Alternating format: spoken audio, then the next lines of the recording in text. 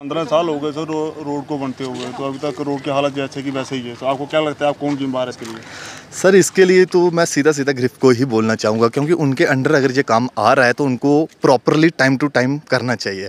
अब देखिए जैसे कि ये स्टेप ले लीजिए इनका जो अपना बिटू मोड से लेके जो टड्डू तक का लगभग स्टेप है। इनको लगभग सात से पाँच छः महीने हो चुके हैं कटिंग करते हुए लेकिन इनको पता है ये जो पब्लिक प्लेस है इसे टाइम टू टाइम करना चाहिए। अब देखो कटिंग हो रहा है डस्ट उड़ेगा, हम इस चीज़ से नहीं बोलते कि डस्ट नहीं उड़ेगा। डस्ट तो उड़ेगा, लेकिन कम से कम उसका मेंटेनेंस करना चाहिए। टाइम टू टाइम पानी डालना चाहिए। एक दो बार वो पानी डाले। मैंने इसे कुछ टाइम पहले भी बोला था, काफ़ी डस्ट उड़ रहा था तो पानी डाले। वो एक आधी बार पानी डालते हैं तो उसके बाद नहीं। उसके बाद देखो, अब मैं आपसे कहूँगा, ये आप दिखा दें। जो, ये जो इन्होंने वर्क स्टार्ट किया था, आपसे चार पाँच दिन पहले इन्होंने स्टार्ट किया था, लेकिन बीच में छोड़ के चले गए हैं।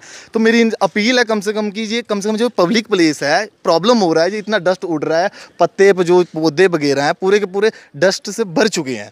तो मेरा ये अपील है कि कम से कम ये जो मेन प्लेस है, कम से कम इसे तो पहले कंप्लीट किया जाए। आप मसलोद में कर रहे हो चलो करिए कोई प्रॉब्लम नहीं है वो भी होगा लेकिन कम से कम जो पब्लिक प्लेस है इसे थोड़ा पहले करना चाहिए इतना खड्डे पड़े हो इतना डस्ट उड़ रहा है इतना लोग मरे जा रहे हैं डस्ट के मारे लेकिन इनको कोई फ़र्क ही नहीं पड़ रहा है। ब्लैक टॉप की बात करें तो कुछ महीनों पहले उन्होंने ब्लैक टॉप अरनाथ से लेकर कंथान से लेकर नाथ तक डाला था वो उसके बीच कुछ खड्डे पड़ गए वो भी भारी बड़े बड़े खड्डे तो इसके लिए कौन रिस्पॉन्सिबल डिपार्टमेंट है या आम पब्लिक सर इसके लिए पब्लिक तो बिल्कुल भी नहीं है इसके लिए तो ग्रिफ ही आएगा क्योंकि उनके अगर वो ग्रिफ काम करवा रही है किसी कॉन्ट्रैक्टर को काम दे रही है तो उनका सबसे पहले ये रहता है कि उनको देखना चाहिए। उनको देखना चाहिए कि काम अच्छे से हो रहा है, नहीं हो रहा है। अब देखो, इसका कमी था, शायद उन्होंने अच्छे से कंप्रेस नहीं करी थी, जो नीचे मिट्टी डाली जा, लेकिन वो उनकी कमी है ना। करोड़ों रुपया हमारे हम गरीब लोगों को खर्च करने के बाद तो उन्होंने वो ऐसी हालत की हुई देखिए, जो दो ढाई किलोमीटर का स्केच है, उसके अंदर पैंसठ से सत्तर खड्डे मैंने अपनी आँखों से गिने थे। वो शायद मैं दो तीन दिन पहले मैंने फेसबुक पे बताया भी था शायद जो तो उसके कारण उन्होंने किया, लेकिन वो खड्डे भरने से उसका सोल्यूशन नहीं होगा। वो जैसे तीन से चार बार वो खड्डे भर चुके हैं, लेकिन वो फिर से जो खड्डे फिर से फिर होते जा रहे हैं, क्योंकि उन्होंने अच्छे से काम ही नहीं किया है। तो मेरी अपील है, अपना एडमिनिस्ट्रेशन से भी कम से कम एक आधी बार वाकई चेक किया जाए, वो क्या काम कर रहे हैं। सर मैं एक्चुअली इसी रोड पर ड्राइवरी करता हूँ, सर। तो सर, मैं काफ़ी पाँच छः सालों से इस रोड पे, सर, मैं अनाज से चला चलता हूँ, सर। ड्राइवरों में, सर, पेशे से।